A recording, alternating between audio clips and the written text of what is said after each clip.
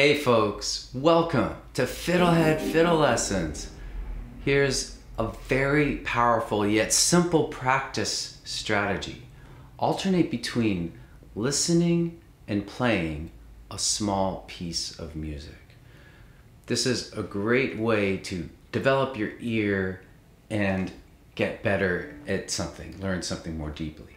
So let's start with a very simple beginner example. Say you're trying to play A3 in tune, that's a D note. And what you could do is play a D drone, listen to it, and then play that note. Very simply. Make any adjustments you need to make. So say it's flat, do your best to adjust it. And then even if you think you got it in tune, pause and let the play along track keep going. So we're using a D drone play along track. Just listen to it. And then play that note again. Just listen. So in that period while you're listening, your brain is unconsciously learning, soaking up information on uh, using this pure reference tone, all right? So even if you don't consciously know you're playing it better in tune or not, your brain is making adjustments. It may be hearing something's off here. And even if you don't fully know that you're correcting, you're going to start to correct if you do this practice of alternating between listening and playing something.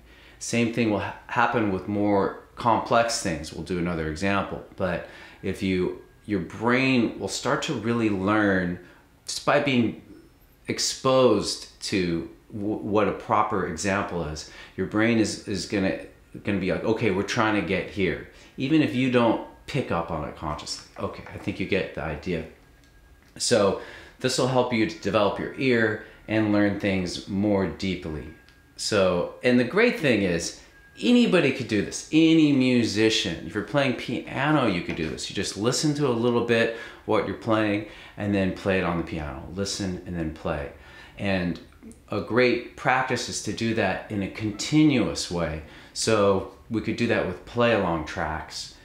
And let's do that with the tune Lazy John. So on the FiddleHed site, we break down tunes, which are more complex, bigger musical things, into small little practice pieces with I call learning chunks. There's tabs, sheet music, and audio.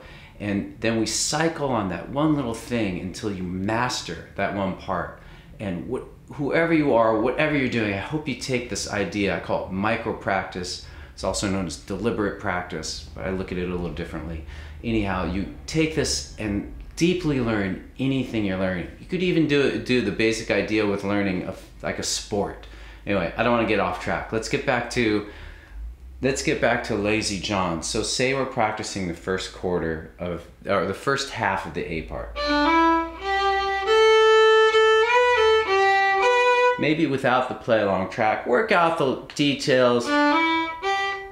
Maybe you need to work on the transition from D3 to A just kind of work out the big kinks and be able to play it in a basic way. And once you get to that point, we can do this practice using a play along track. So I'm gonna play it on a little speaker and we're gonna alternate between listening and playing the A part uh, first half. I'm gonna listen. Now I'm gonna play.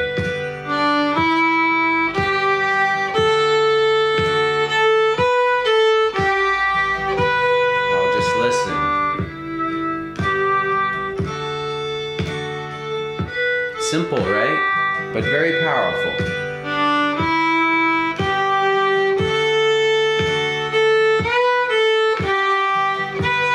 And so on. The FiddleHed site is set up to do this practice quite easily. So if you're already a subscriber, great. Just jump in and try it with whatever you're learning. But if you're not, or if you are learning a tune that I don't have on the site, you can still do this practice. Here's how. You can use apps such as the Amazing Slow Downer or AnyTune or even video looping apps to do the same thing. And basically what you would do is you would let's say you have a recording of a tune, it's in your library, and you just plug it through the, the app, the Amazing Slow Downer is what I use. And then you find that part that you really need to practice and loop on that.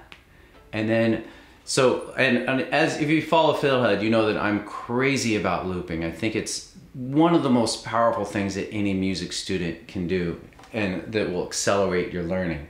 But anyhow, so you loop on whatever part, you, you just use an app and do the same exact practice. I don't have it, the tech stuff pulled up for it, but I think you get the idea. It'll work the same way. So the apps, I'll put links to the apps below for you guys, okay? So, so, so that's an example of how to do this on Lazy John. You can even do the practice on things like note reading. So it, let's say you're learning to read music. What you can do is you can listen to an example, look at a little bit of the sheet music, and then and then the next time through play and look, and then pause and listen and to the music and watch it, and then pick up your fiddle, play the music. The more you do it with a play along track, the better. Okay, and I'll just close by saying that this idea of alternating between listening and playing is what I call a practice loop. In a nutshell, practice loop is the alternation between something somewhat easy and something more challenging. So, in the case of listening and playing, let's say you're learning something hard, you kind of give yourself a little bit of a break. You, so it's a little easier. You just listen, let your brain unconsciously learn, and then you go for it. You, you play the challenging thing, and then you take a step back and you listen. And that time in, in, in the practice loop when you do the easier thing is a time to reset. It's a time to kind of connect with your body and relax, and then you can go for it and do the harder thing. Does that make sense? Okay, so I have some other lessons you can take related to this. A lot of them are free blog posts. So the one on practice loops, I'll link in the description. And that's about it. So give it a try. And if you discover anything, even if you, you find that you like it, or even if you find that it's not helpful, let me know because I'm always trying to improve the approach. And so I've learned a lot from you guys and your comments, so keep them coming. Well, that's about it. Thanks for watching. Now go play some practice loops with alternating between listening and playing. You got this. So long.